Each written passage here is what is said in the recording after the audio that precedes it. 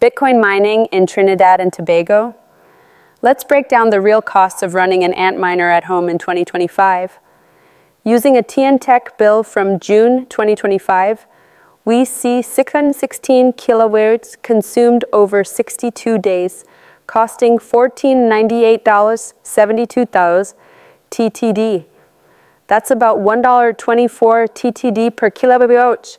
Running a high power Antminer could triple your bill, so profitability is key. The top three miners? First, the Antminer S19 XP Hyd, great for industrial setups, but needs custom cooling. Next, the Antminer S19 Pro, perfect for home setups with proper airflow. And for altcoin lovers, the Antminer L7 is ideal for Litecoin and Dogecoin mining. But beware of the Antminer S9 and older models, they're not worth the investment here.